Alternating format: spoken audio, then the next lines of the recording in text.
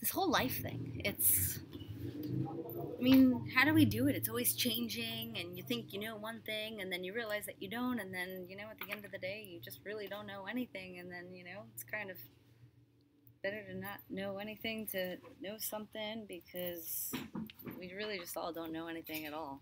So, you know, the moment that we think we know something, then we're just kind of fooling ourselves. Um, that's what I think, at least.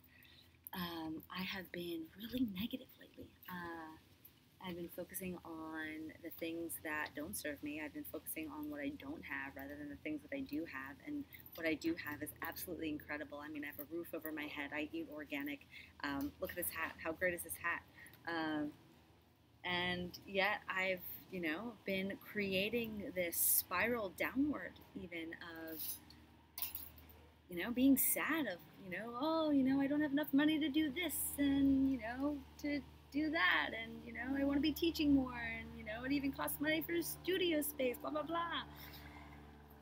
And it just has not been serving me and i'm so done so done with that mindset because it's all perspective and energy follows attention and i'm done putting energy into the things that i don't have rather than the things that i do have because it's not fun it's it, it kind of sucks and uh, i don't want to live that way and I definitely was in practice of being an optimistic person and positive. And you know, just recently I've somehow fallen out of that pattern. I think there's just been a lot of transitions going on, and what's beautiful is to have daily practices of meditation, of moving, of writing. That is the practice of getting me back into balance, back into alignment. And it's, you know, not just doing the act, but having the intention behind it. So when I do those practices, I'm now saying I'm doing that to focus my energy or focus my attention on positivity, on being optimistic, of seeing the cup half full rather than half empty. And it's a, it's catching myself, you know, and it's a practice of the increments of getting shorter and shorter to just fully embodying it. And yeah, it's not going to happen overnight.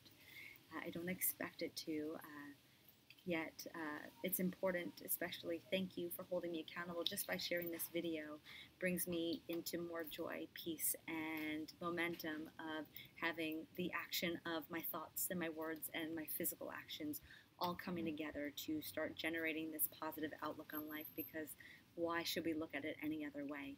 And by me doing this work, I hope that it's only an inspiration for others to do this work because when we are all in a state of alignment and thinking positively, we are more present. We are connected to the incredible nature around us, to the earth, to the truth that we exist. And the only truth is universal law, the energy that's going and moving in us all the time, rather than our minds that are blocking us from actually being connected to everything going on around us. So. I am a positive person. I am an embodied leader. I am living in my truth. I love life. It is amazing.